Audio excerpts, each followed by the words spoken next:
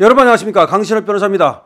아 지금 친한계 뭐 김종혁 최고위원이라고 하는 자가 여기에 에, 앞잡이 에, 행동대장 역할을 하고 있는데요.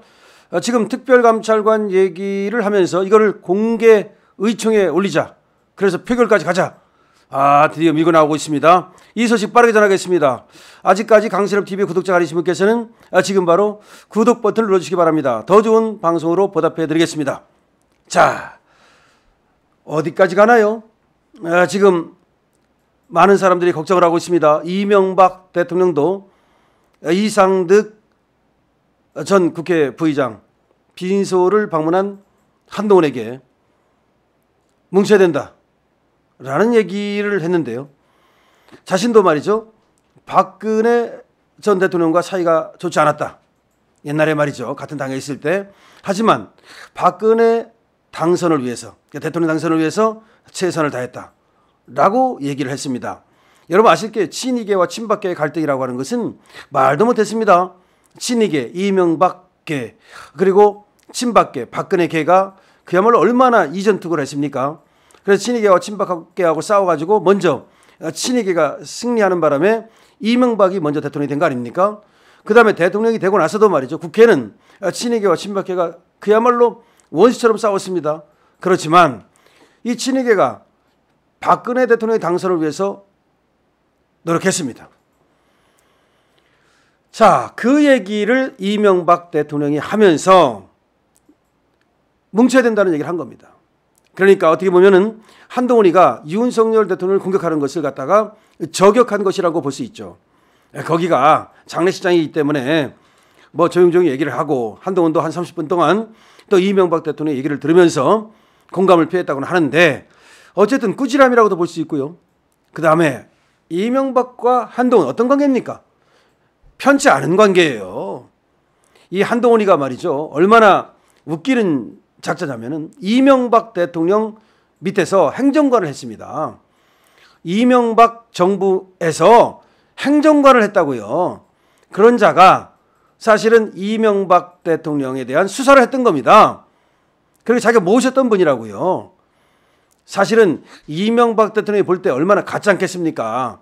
내 정부에 와가지고 행정관 하던 놈인데 이놈이 나를 갖다가 수사한 놈인데 그런 것들을 생각한다면 그냥 면상을 한데 때려주고 싶지 않았겠습니까? 어디를 여기 오냐고 무슨 장례식장이라고 겨들어오는 거 반갑지 않았을 거예요.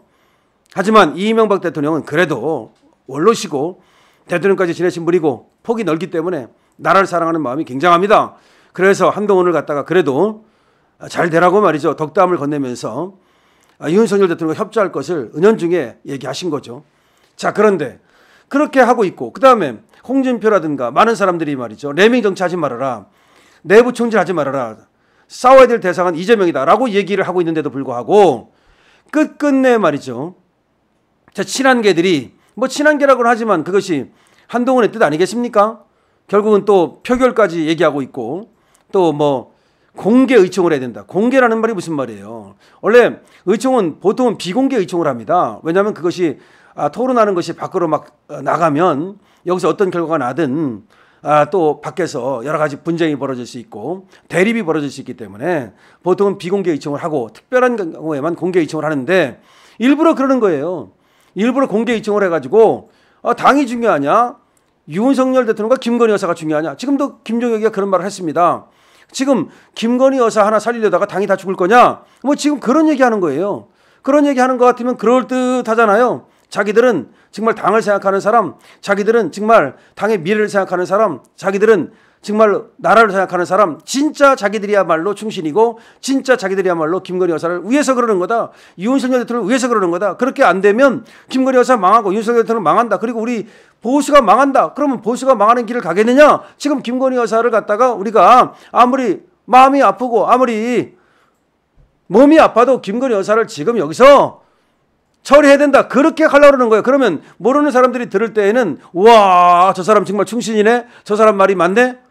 지금 광 팔고 약 팔려고 공개 의청하자는 거예요. 이거는 굉장히 아주 불순한 겁니다.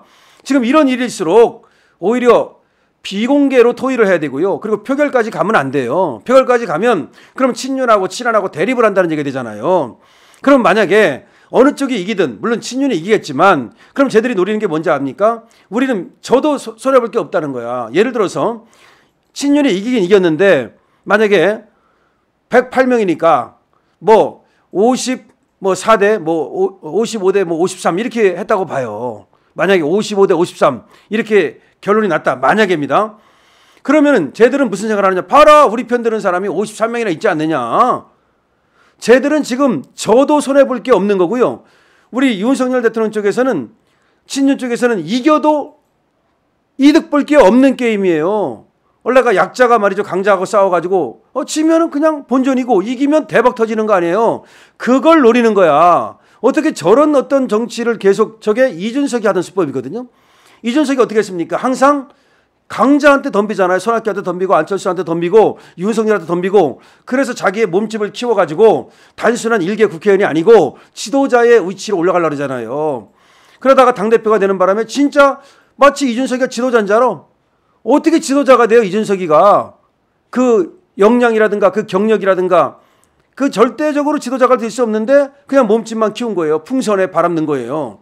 그런데 한동훈이가 이준석을 보면서 야, 이준석 따위도 하는데 내가 막 이준석보다 나이도 많아도 많고 그러면서 자기도 그냥 한 방에 차곡차곡 차근차근 이렇게 쌓아 올리려고 하는 경력과 이력을 쌓아 올리는 것이 아니라 그냥 한 방에 올라가려는 그런 어떤 작태를 지금 벌이고 있는 거예요. 윤석열 대통령이 말이죠. 대통령이 그냥 검찰총장에서 금방 직상승하는 걸 보면서 나도 법무장관 했으면 됐지. 그리고 비대위원장 했으면 됐지. 당대표 했으면 됐지. 바로 대통령 올라가는 것이 뭐가 문제야. 이런 생각을 갖고 있는 거라고요. 그러다 보니까 자꾸 공개를 얘기하고 또 뭐 독대를 얘기하고 표 대결을 얘기하고 대립의 정치를 얘기하잖아요. 원래가 대립의 정치라고 하는 것은 국회에서도 잘 안 하는 거고 여기는 그야말로 국회니까 당이 다르니까 여당 야당이니까 어떤 사안에 대해서 반대가 있고 찬성이 있다면 그걸 표결을 할 수밖에 없는 거죠. 그것은 이미 헌법에 상정되어 있는 거고요.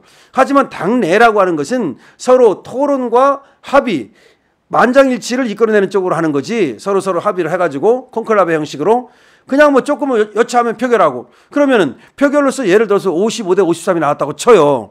그러면 어쨌든 결론은 나겠지만 여기에 후유증이라고 하는 것은 어마어마하다는 겁니다. 아, 그러면 어떻게 될까요? 아, 다음에는 이제 야, 한동훈의 세력이 저렇게 크네? 야, 그래? 그러면 어차피 윤석열은 지는 해고 어차피 한동훈이 떠오르는 했는데 저쪽으로 가야 되겠네? 다시 말해서 한동훈이 노리는 것은 정치적 광팔라고 그러는 거고 지금 있잖아요.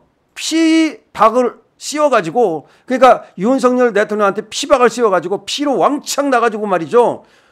야 김종혁이가 지금 이 한동훈의 뭐 대변이나 되는 듯이 앞서 나가가지고서 아, 지금 까불고 있는데요.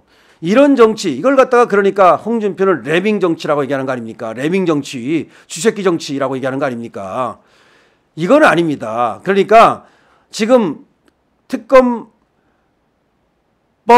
가지고 최상병 특검법 가지고 그걸로 약 팔아보려고 했었잖아요. 누가 한동훈이가 최상병 특검을 받겠다 그랬잖아요. 그거 이제 안 된다는 거 알았단 말이야. 그거 빼고서 이제 특별 감찰관을 다시 들고 나온 거야. 아니 그러니까 뭐라도 하나 들고 나와 가지고서 그거 가지고 괴롭히려는 거야. 특별 감찰관을 들고 나왔는데 사실은 그거 민주당에서는 관심도 없어요.